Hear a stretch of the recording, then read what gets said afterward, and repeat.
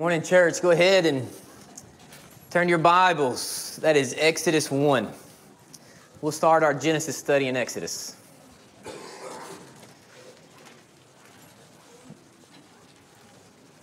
Go ahead and turn your Bibles to Exodus 1, starting in verse 1.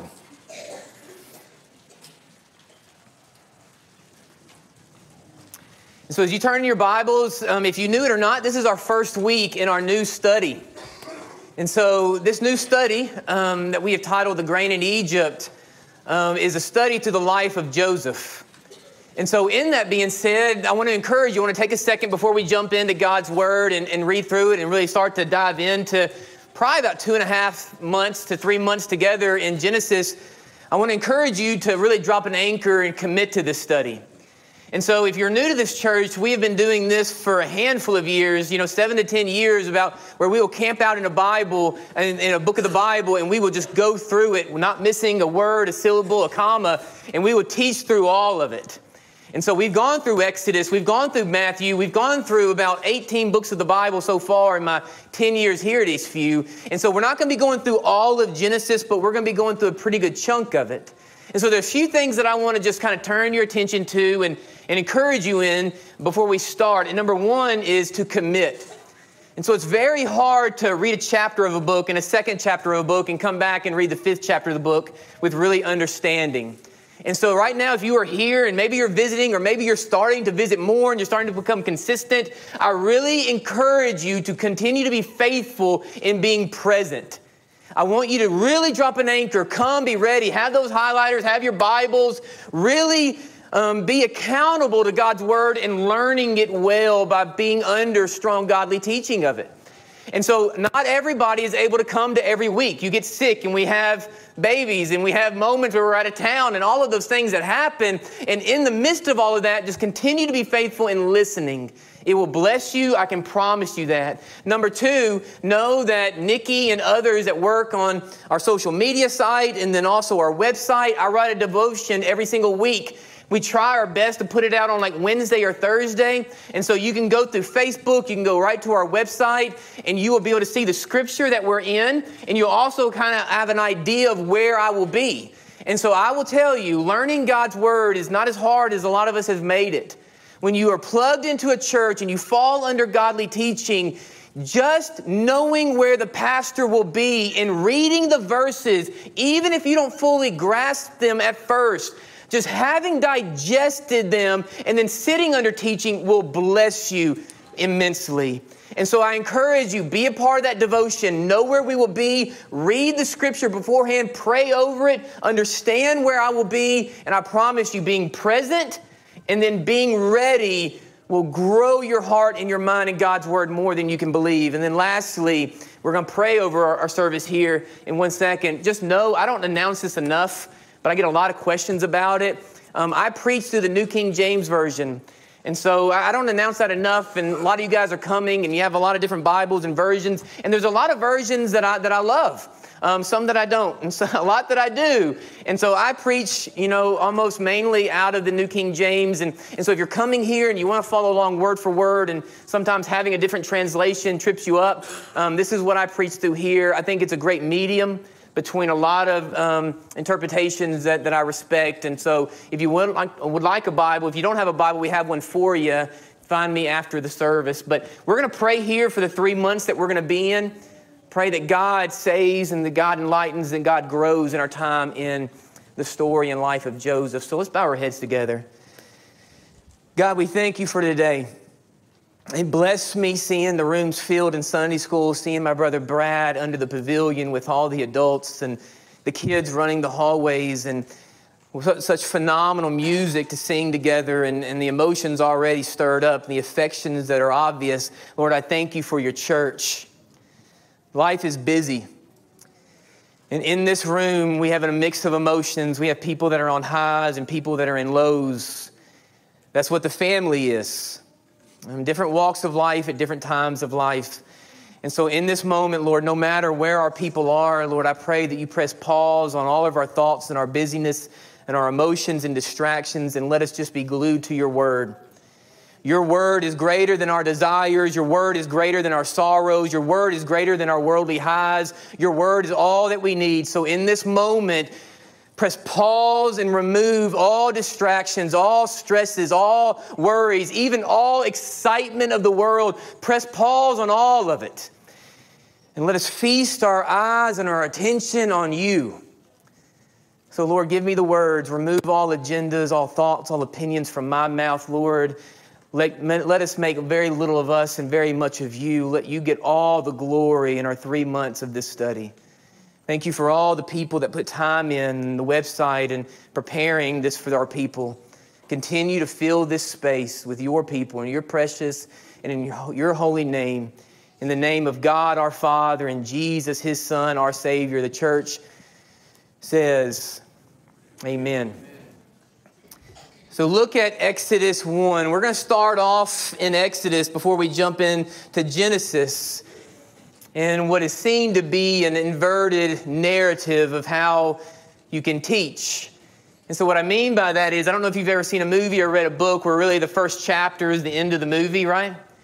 And so you'll see a show and it's kind of the end of how it all you know, concludes and then it goes a flashback to show you where it began. That's what we're going to be doing here this morning. And so, as before we start, I'm very aware because I sit with many of you guys that God's word can be overwhelming at times as my brother Travis sits with young people trying to make it not as complex and to enlighten them on understanding God's word from Chad and Ashley sitting with our younger ones. And then even me with you, I sit with so many and people go, Hunter, I've been in church my whole life, but man, this is so overwhelming to me. Well, here's the good news.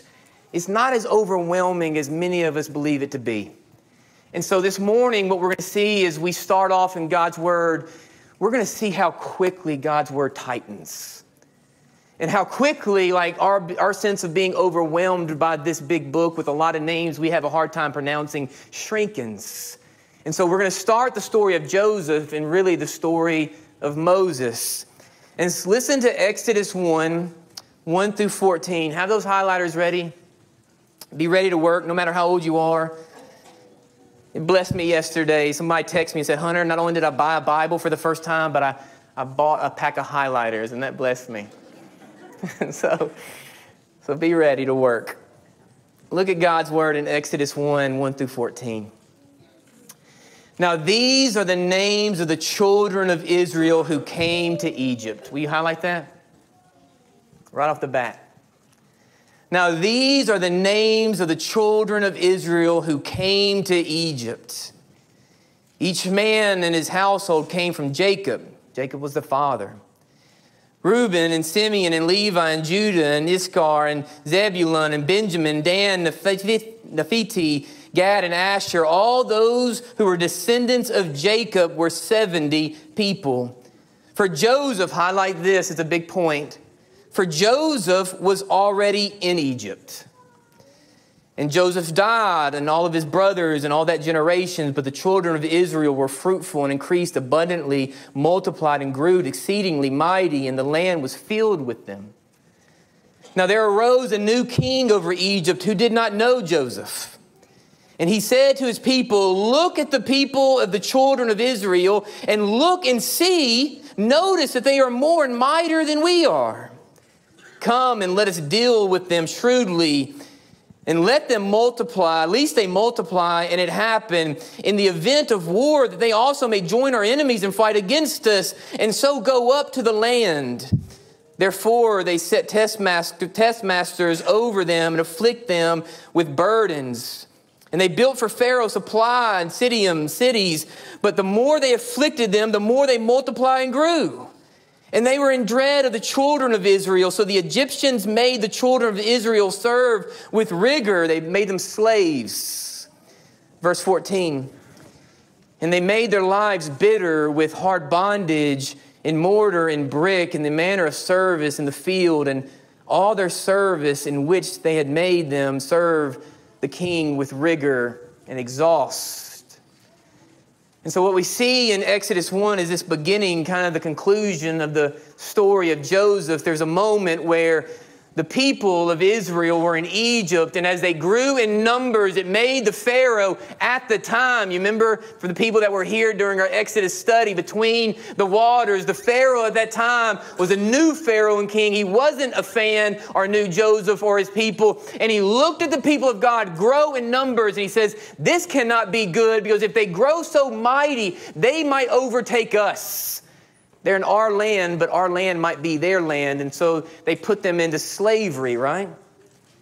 They said, We can't have this. And so I was thinking about this, this story of Exodus and Moses and the moment of Joseph and Jacob and his brothers and how it all intertwines. And I thought of that theory, you might have heard of it, of the butterfly effect. You ever heard of that theory before, that concept?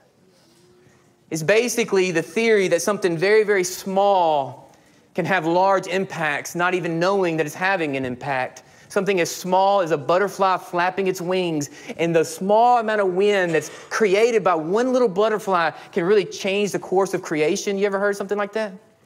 So, as simple as you bending down and tying your shoes might prevent a red light being green and might prevent a wreck, or you having coffee with somebody and saying something or not saying something, the fact that I could preach 30 seconds longer than expected or 30 seconds fewer than expected could change history. That's the butterfly effect.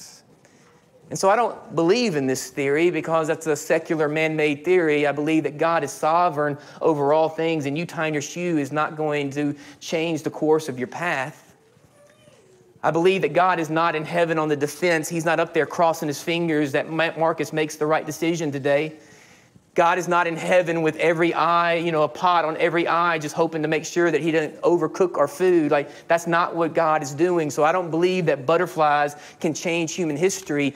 However, I do believe that small decisions and choices and life decisions can change and make a huge impact for your life. I do believe that. And so I do believe that everything matters. If you even look at the Bible and you look at this world, the truth is, the fall of Adam and Eve, just these simple two people taking a bite of a fruit, would lead to war today. If you look at the mess in, in our world and all of the things that are going on from destruction and, and poverty and racism and death and sickness and divorce and the fall of all, if you look at all of the mess that we are in and you start tracing it down and tightening and tightening and tightening, it all begins with what? A simple bite. I believe addiction started with a sip. I believe that an affair started with a flirt. I believe for my parents and my young ones, I believe that the opportunity to let your kids shut a door with someone that they might be dating would lead years later to having awkward conversations about virginity lost. I believe that small choices and small decisions can have huge impact on our lives. Just take a second and think about it. But I also believe it on the positive side, not all negative. I believe that your kids hopefully will be impacted by all that you bless them with. I've told you before, my love language, I love to travel, and I like to travel big. Like, I like those experiences. But I truly believe that this morning my kids will be impacted more about me bringing them to church than me ever taking them to Disney. I believe that my boys might grow up and know how to treat a woman by the simplicity of me going every single day to buy her a Sonic drink. And you go, that's not going to change their history or their future about how to treat a woman. Maybe it will, maybe it won't, I don't know. I believe that everything matters, church. I believe that every decision matters, every choice matters, every commitment matters, every word spoken and every word not spoken. I believe that every yes matters and every no matters. I believe that everything we do, it might be heavy on you, but it doesn't mean that it's not true. I believe that everything that we do has probably a larger impact than you realize, much larger. And that is the story of Joseph.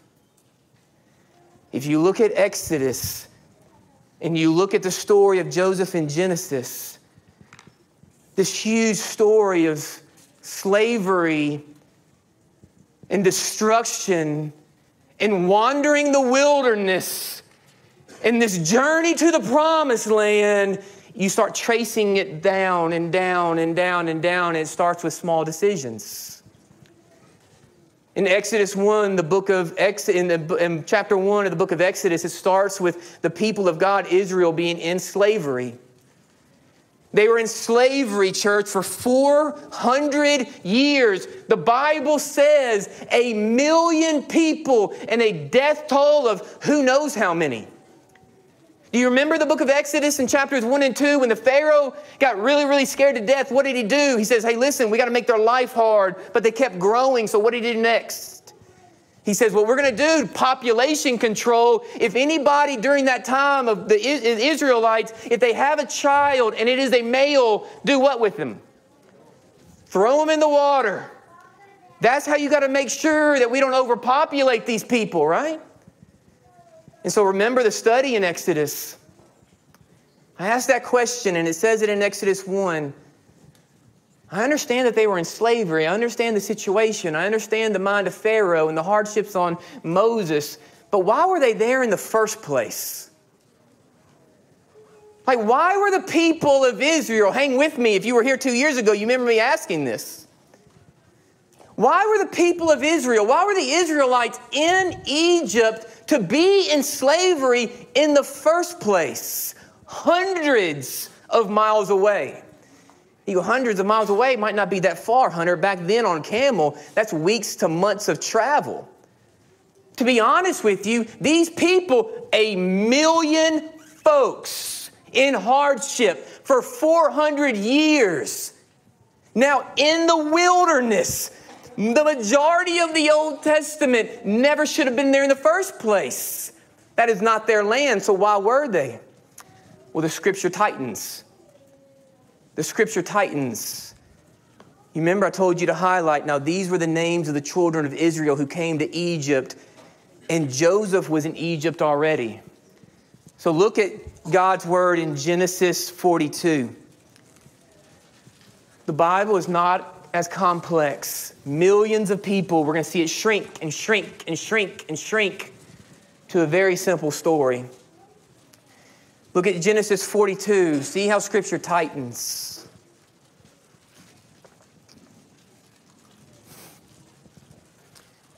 Look at Genesis 42, verses 1 through 2. Highlight both of them. Now, when Jacob, Jacob is the father of Joseph, when Jacob saw that there was grain in Egypt, Jacob said to his boys, said to his sons, Why do you look at one another? And he said, Indeed, I have heard that there's grain in Egypt, so go there to that place and buy for us there that we may live and not die. So, why were the people of God in Egypt to be enslaved in the first place? Very simple answer necessity. There was a famine. And so, here's another question. Let's keep digging. Why did they stay? Like, I go to Walmart almost daily, but I don't set up camp there, right? Like, if the people were starving and they left their homeland to go to Egypt to get food, why in the world did they stay? Well, most of you know the story of Joseph, the VBS story that we've learned since we were a little kid. It's a very simple answer. They had family there. And we're going to un- unveil it later on, and we're going to dive more into it as we get deeper into the story. But what did the brothers find in Egypt? Not only grain to live, but they found their brother they found family. Some of you guys can relate to this. One thing that I'm not used to, I'm not from Huntingdon, but I'm not from California, but every single week that we come into this church, we have visitors and and I say, Where are you from? And they're from Minnesota and California, New York, and all of these places. And why are you here? And they're like, Well, taxes and, you know, mallards. That's the reason I'm here. And you go, You don't know anybody? And they'll say, What? Well, I got some few cousins about 45 minutes away. Same story. Why did the people of God find themselves in Egypt? Necessity, famine, they needed food. Well, why did they stay? Well, they had family there. Hang with me, church. If you're a note taker, kids, Well, why did they have family there? Why did they have family in Egypt? And that is where our story begins. And so look at the first chapter of the story of Joseph. That is where we begin. So look at Genesis chapter 37. This is how my mind works. Like, I love studies like this. I can sit at my desk and just go for hours. Like, I love digging and digging and digging, and just seeing the, in the midst of Exodus and seeing them out there and how many people there were in 400 years and all of the turmoil and going, how did they, how did they get here and why are they here? And then just tightens and tightens and tightens and tightens. And so listen to how our story begins in Genesis 37. It says, Now Jacob dwelt in the land where his father was, a stranger, in the land of Canaan this is the history of Jacob. Joseph, being 17 years old, was feeding the flock with his brothers and was laid with one of the sons of Bilhah and the sons of Zilpah and the father's wives. And Joseph brought a bad report to his father. And some of your Bibles, when the, the Hebrew interpretation of this was like he went and tattled, okay? And now Israel loved Joseph. Israel is Joseph. Now Joseph loved, Jacob loved, I'm sorry, Jacob. Now Jacob loved Joseph more than all of his other children because he was the son of his old age. And also he made him a tunic of many colors. Some of your Bibles say coat. But when his brothers saw that their fathers loved him more than all of his other brothers, they hated him and could not peaceably talk to him. Now Joseph had a dream. And he told it to his brothers, and they hated him even more. Will you highlight that? Highlight verse 5. Now Joseph had a dream, and he told it to his brothers, and they hated him even more for it. So he said to them, Please hear me, and hear me of this dream in which I have dreamed. There we were, binding sheaves in the field, and behold, my sheaf rose and also stood upright. Indeed, your sheaves stood all around and bowed down to my sheaf. And his brother said to him, Shall you indeed reign over us, or shall you indeed have dominion over us? So they hated him even more for his dreams than for his words. Then he dreamed still another dream. They told his brothers once again and said, Look, I've dreamed another one. And at this time, the sun and the moon and the 11 stars bowed down to me. Later in sermons, we're going to unpack all of that. And so he said to his father and to his brothers, and to his father rebuked him and said to him, What is this dream that you have dreamed, son? Shall your mother and I, your brothers, indeed come and bow down to the earth before you? And his brothers envied him, but his father kept the matter in his mind. Verse 12. Then his brothers went to feed their father's flock. And Israel said to Joseph, Are not your brothers feeding the flock? Come, and I will send you with them. And so he said to him, Here I am. And he said, Please go and see that it is well with your brothers and well with the flocks, and bring back word to me. So he sent him out to the valley of Hebron, Hebron, and went to Shechem. Now, a certain man found him, and there he was wandering in the field. And the man asked him, saying, What are you seeking? So he said, I am seeking my brothers. Please tell me where they are feeding their flocks. And the man said, They have departed from here. I have heard them say, Let's go to Dothan. And Joseph went to his brothers and found them in that place. And now, when they saw him afar off, even before he came near, they conspired to kill him. Then they said to one another, Look, this dreamer is coming, not my brother. This dreamer is coming. Come, therefore, let us now kill him and cast him into the, some pit. And we shall say, Some wild beast has devoured him. We shall see what will become of his dreams at this point. But Reuben heard, Reuben heard it, and he delivered him out of the hands and said, Let us not kill him. And Reuben said to them, Shed no blood, but cast him into the pit which is in the wilderness, and do not lay a hand on him, that he might be delivered him out of their hands and bring him back to his father. Highlight 23 and 24, and then we'll stop. So it came to pass when Joseph had come to his brothers that they stripped Jonas, Joseph of his tunic and tunic of many colors that was on him. And they took him and cast him into a pit, and the pit was empty, for there was no water in it. So, church, see how quickly the scriptures tighten. Hundreds of years of slavery of the people of God the hardships and deaths of hundreds of thousands, years of wandering the desert. Trace it back, trace it back, trace it back, all to the conflict of one home. Slavery of a million, where did it begin? The conflict of one family. The story of Joseph is very much the biblical view of the butterfly effect of what goes on in one home can affect many more people outside of that place. For generations, for decades, what happened in Genesis 37 would impact people that these men would never meet in their life. Can you see it today? Like, can you look at this world and all of the mess that we are in and all that we are experiencing and trace it back to something so simple? If you look at this world, and as I said earlier, devastation and poverty, racism, war, death, sickness, if you start tracing all of the problems, this world to our country, to our state, to our town, you start narrowing it down. Something so hard of like, how did we get here? Start tracing it back, church, and what do you see? You see the family, you see the home.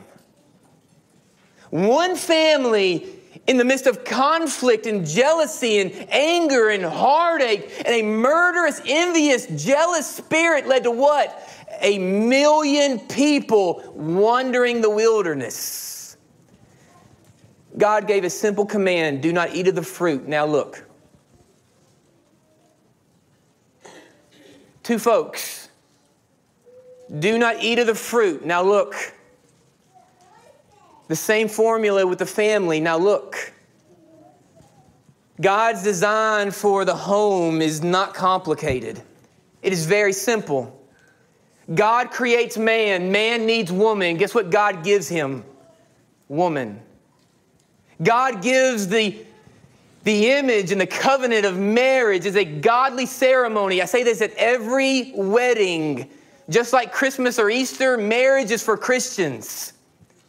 If you go back to the origin of what marriage is, it is God's love for the church. This is his bride. And so marriage is a covenant between man and woman who stands before not just simply each other, but God Almighty and promises that I will live my life together. Why? Because we are now the image bearers of his love for the church and then gives them sex. And what is sex? Sex is a blessing. It is the wedding gift of our Lord, and it is also a means to an end of multiplying. And now, what does God say? Now go live and be fruitful and be faithful. Now, look.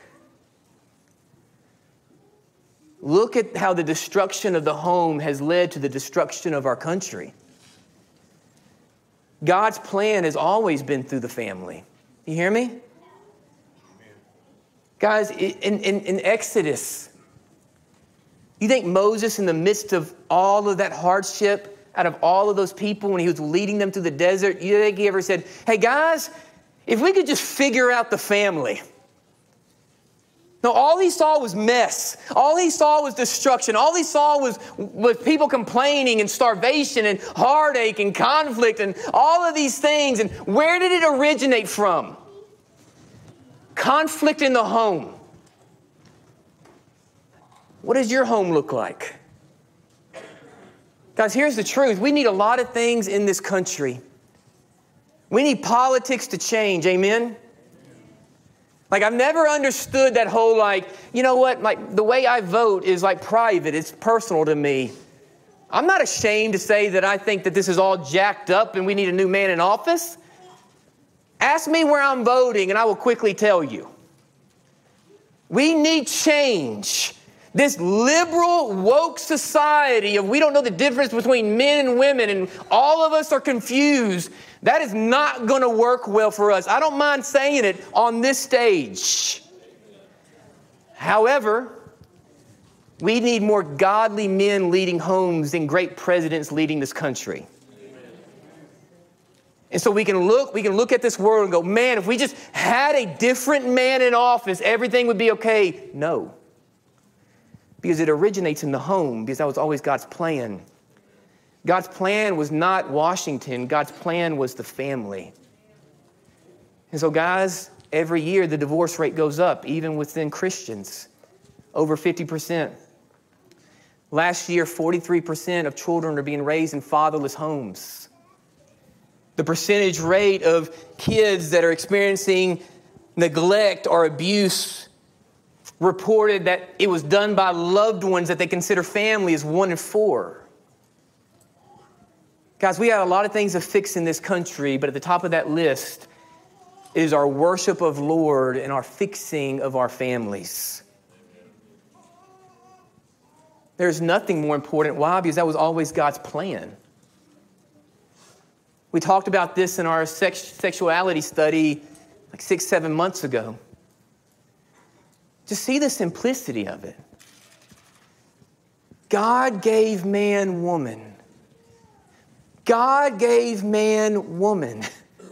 And man loves God and finds a woman who loves God.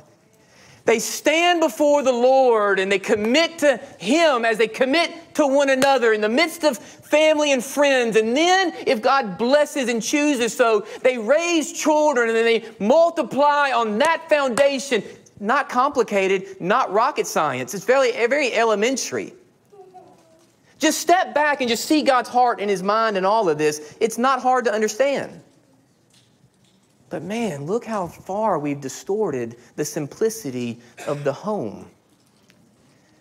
Man and man going through the same covenant that they were never meant to go through. Amen. Woman and woman. Man thinking that it's woman, woman thinking that it's man. Sex before marriage, not believing in like all, you know, unyoked couple, all of these things. And we look at our world and go, man, we got a drug problem. No, we have a home problem.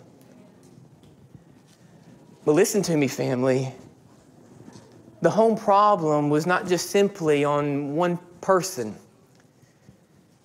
Like in the home, and when we look at Joseph's situation, like there was enough blame to go around. And so every sermon that I've always heard, man, it's always the brothers. The brothers are the obvious villain, right? But listen to what it says in verse 3 of 37. Look at verse 3. Says, Now Jacob, now Israel, loved Joseph more than all of his other children because he was the son of his old age. So, what does it say here? It says that there's probably a lot of problems in the home, not just the obvious ones. Scripture tells us that Jacob showed favoritism to Joseph, that Joseph was the son of his old age, and then also historically, the Bible tells us it was probably because one of its many reasons is that Joseph was the son of his favorite wife. And who knows, maybe, maybe Joseph was the smartest kid out of the bunch. Maybe he was the most athletic. Maybe he had dad's face, or maybe he was just the ultimate daddy's boy. Who knows? But Jacob loved Joseph in a way that all the other brothers knew it. So I want you to think about something. Have you ever felt less than in life? Ever? You ever felt less than in your own home? Like a lot of us have circles where we go, man, like I'm the last one picked on the kickball team, or maybe I don't know where to sit at lunch, right? Or maybe I don't fit in with that group, or maybe we don't fit into that group. A lot of people have some type of story. But have you ever been less than in your own family? Says that, that, jo, that Jacob loved Joseph in a way that it wasn't just kind of like thought or theory of maybe we're not the favorite, but the brothers knew it. So if you believe it or not, it might not be true, it might not be accurate, but if you talk to kids, all of us feel like, oh, I know who dad's favorite is, right? To all of you guys. Like, I know who the favorite is. I used to joke with Liam all the time because I was always harder on my boys and my girls, and to be honest with you, I'm okay with it. And Lila was a baby. And there'd always be moments where I was very hard on my boys.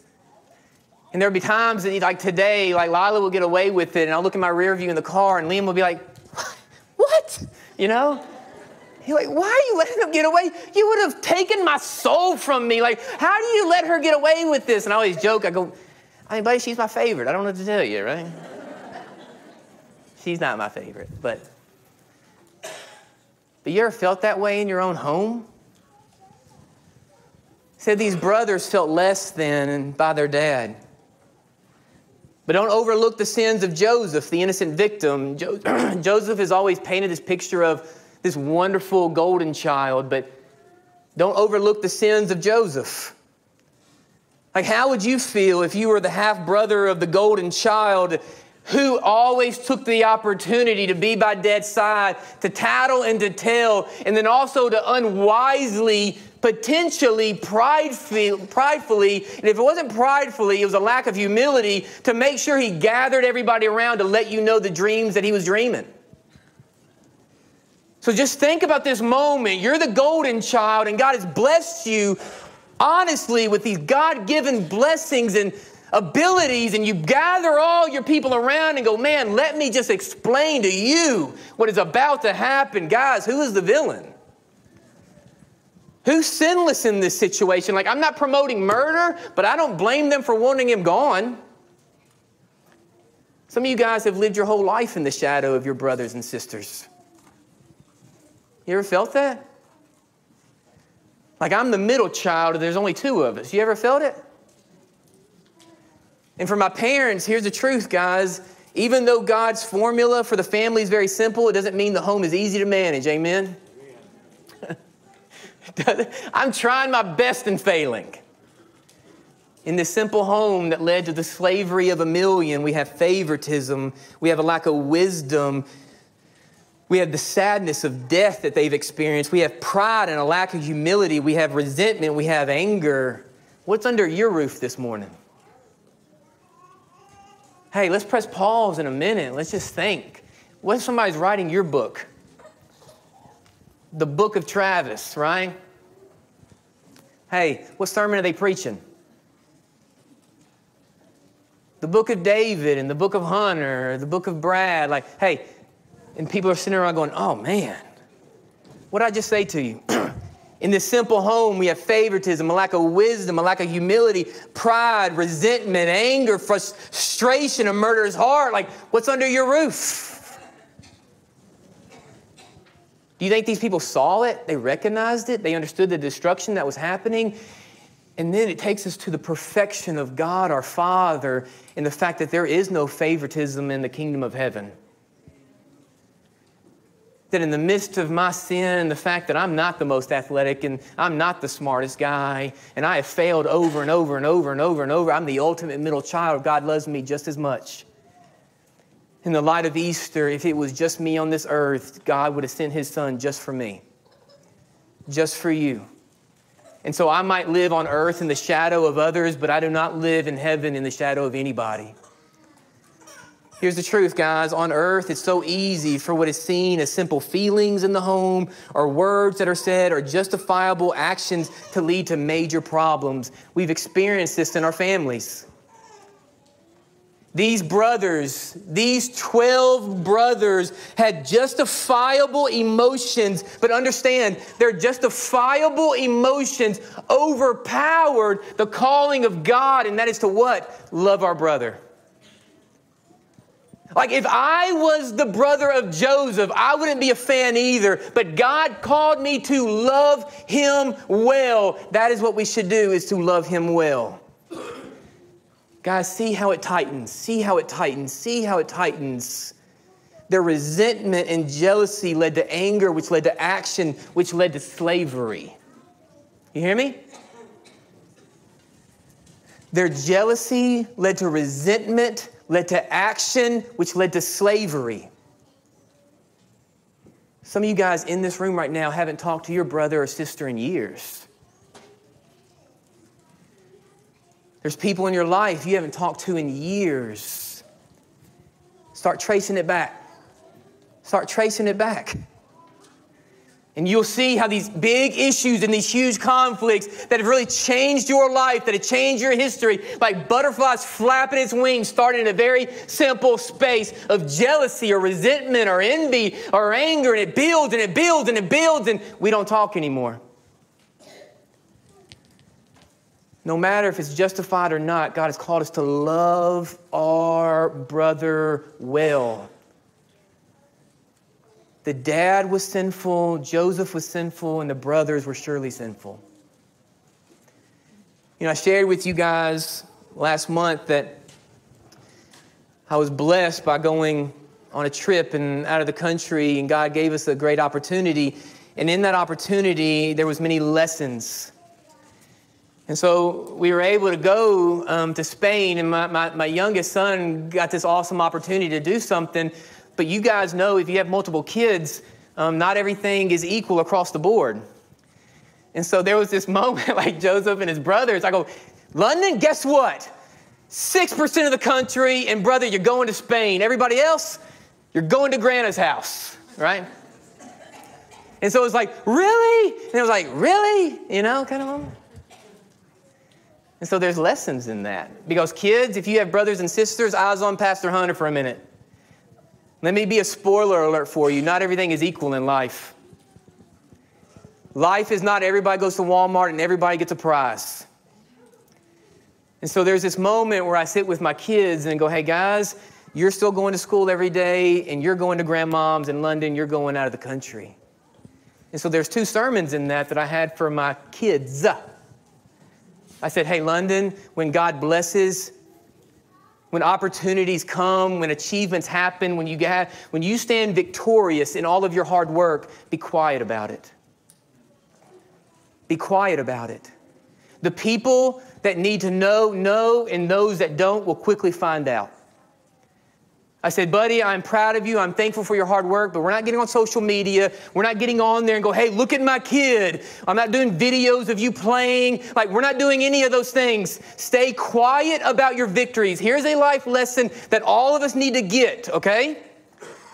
We are not getting on there and going, look at me. My kid is kid of the week. Straight A's this weekend in the tournament. They went three for four and got MVP. That is not what we are doing. We are not asking for all eyes on me. Buddy, when God blesses, give Him the glory and stay humble and quiet. Liam, be loud. London, quiet. Liam, be the loudest cheerleader your brother has. And so there was a moment where it was honestly my proudest moment of the whole experience. And it wasn't uh, going, it wasn't that he was chosen to go, it was not how he played there, it wasn't even him. It wasn't even why I was there. The proudest moment of this experience that God gave me came a week before we even went. And it wasn't even the kid who went. There was a moment where I told Liam in London, I go, one reason that we don't post things and we say, look at me, look at me, look at me, because you don't want all these folks looking at you because man's heart has a hard time being happy. And so London experienced that. At school, which I'm glad they did, it was very sweet of them. The week before he left, somebody got on the intercom and said, Hey, let's congratulate London. He's going on this trip. Good job, buddy. Go have a good time. And then it came. And so my, my son came home and he goes, Hey, Dad, I saw what you were talking about. Like people came to me and was like, Hey, I just want you to know I'm also supposed to go to Spain, but I was busy that weekend. I just want you to know that, right? Hey, my baseball team's going to Tokyo next summer. Just know that.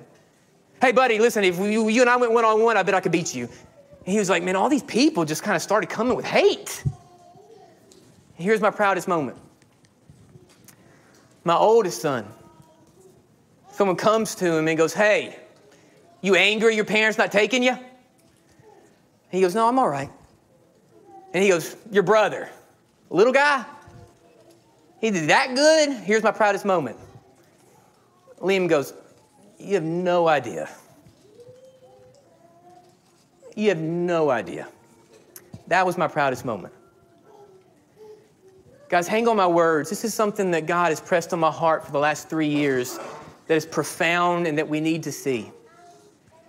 The people who love you and support you and are really there for you in life are not always the people that are just down in the trenches with you, but it's those people who root for you when you're not.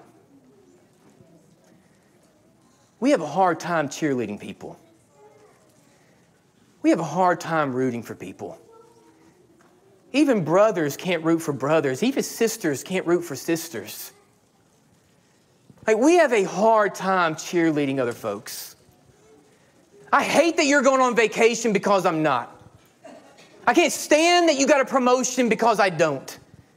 I hate that you're happy. I hate that your marriage is good. I hate that you're excited about what you're doing or you love your job. I can't stand that you won because I feel like I've lost.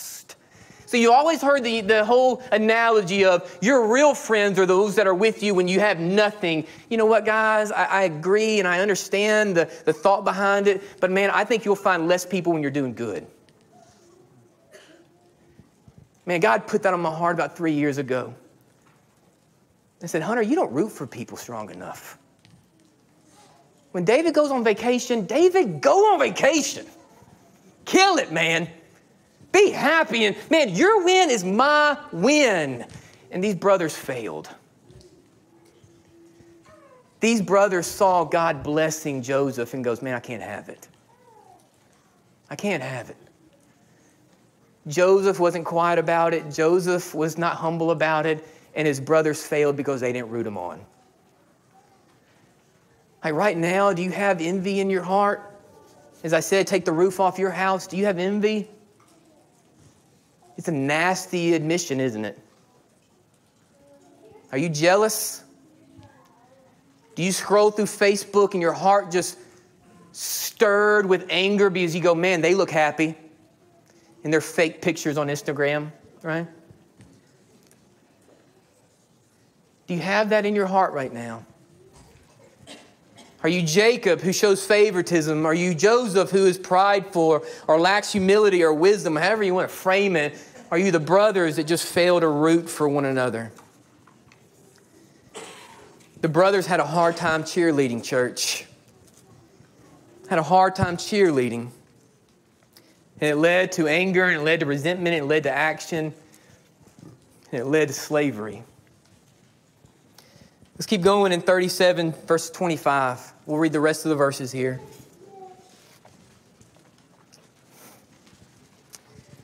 He said, So it came to pass.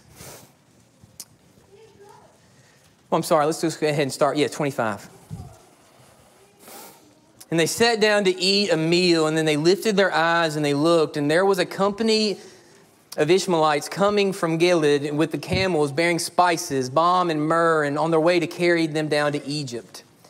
And so Judah said to his brothers, What profit is there if we kill our brother and conceal his blood? Trying his best. Come and let us sell him to the Ishmaelites, and let not our hand be upon him, for he is our brother, he is our flesh. He's trying. And let his brothers listen.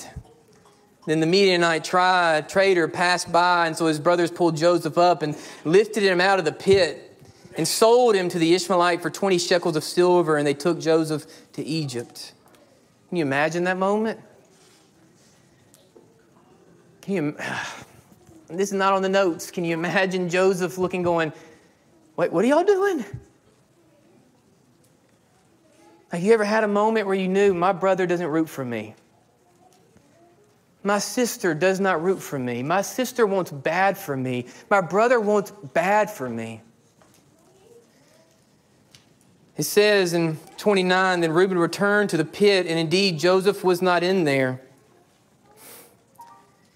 He was not in the pit, and he tore his clothes, and he returned to his brothers and said, The lad is no more, and I, where shall I go? And they took Joseph's tunic and killed a kid of the goats and dipped his tunic in blood. And then they sent the tunic of many colors and they brought it to their father and said, We have found this.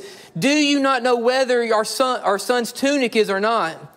And he recognized it and said, It is my son's tunic. A wild beast, their plan achieved. A wild beast has devoured him. Without doubt, Joseph is torn to pieces. And then Jacob tore his clothes and put sackcloth on his waist and mourned for his son for many days. And all of his sons and all of his daughters arose to comfort him, but he refused to be comforted and said, For I shall go down into the grave to my son in mourning. Thus his father wept for him. Highlight verse 36, please. Last verse of the day. Now the Midianites had sold him into Egypt to Potiphar, an officer of Pharaoh and a captain of the guard. so as we close this morning, understand that one of the huge themes of Joseph's life that you're going to see every single week is that a slavery of a million began with the fall of one home that started with the bite of one fruit. And so, how you live and how you love others has a greater influence and impact than you realize. But the story of Joseph is not just the decades of destruction caused by sin and how our decisions and choices and matters in life impacts more than you realize, but it's also about God's provisions. It's about God's sovereignty. It's about His hands on top of everything we do. The fact that when butterflies flap its wings, it is not going to overpower God's desire for our life. As much as you and I try to mess up things, God will have what He calls His, it will still come to be. And so when we look at Moses, Moses was thrown into the water to die, but he was found by a woman. What woman? The right woman. When you look at Joseph, when he was left for dead and sold into slavery, he was bought by a man. What man? The right man. Guys, hear me as we close. Please stop getting purses together. I said last page of notes and I heard all this ruckus coming on. Chill out for a second. If you stop and look at your life and press pause and take a step back, you can just see destruction in your life. As we looked at all the issues in Joseph's home, you can look at your home and go, oh man, just you can see it, all the ways that you just tried to mess it all up. But in the midst of your mess, what do you see? You see God's provision man, like if I really step back and sit down and take a moment to really look at my life so far, 42 years into this game, I have tried really hard to ruin me. And in the midst of my ruin, I always see God's goodness. The world will throw me into the water, and I'll be found by the person that God wants to find me. I'll be thrown into the pit with no water, and guess who buys me? The man that God wanted to buy me. And so when we look at the destruction of our life, we can trace it right back to the sin and the fall in the garden. But when we look at God's provisions, we can also change it, narrow it down, and trace it back to Jesus' death on the cross. Man, in the midst of the death of Christ, was trying its absolute hardest and God say, I will, provide, I will provide a way. As we close, nothing in your life is by coincidence. Nothing in your life is by coincidence. We are called to understand that every choice, every decision matters and has great influence. How you live and how you love greatly matters. But for God and who He calls His, He will provide a way. And so, if you are sitting here today and God's word is spoken to you, and in the midst of your mess, you see a door that is open and a voice that calls you, do not stay in your pit. If you are in the pit right now and you go, man, I've really messed this up, but I see a door and I hear a voice, man, do not stay in your pit. If you sit here today and you are saved and you are having those relationships and you said, I have not cheerled my brother. I have not loved my brother well. I have resentment. I have envy. I have jealousy. I have anger. And it has led to slavery. Man, call them up. Call them up. Love your brother well. And if you are the Josephs, Stay quiet about your victories and let the ones around you love you better. Let's bow our heads. God, we thank you for today. Lord, I just love your word. Thousands of years ago, stories that were in such a different life, I see myself in it. And that is not a coincidence. How amazing that we can read words and stories and unveil characters that are going through things in such a different time, and it reflects today. God, this world needs so many things to right the ship, but there is nothing more important than you. And through your way, we see the family. Let us love our children equally. Let us be humble about who we are and let us cheerlead each other. Let us love better than we're loving. Let's cheerlead those around us. Let's root for people when they have been blessed or when they're experiencing high times. Let's cry when they cry, but let's cheerlead when they need it. Let's be happier for those people that God has blessed.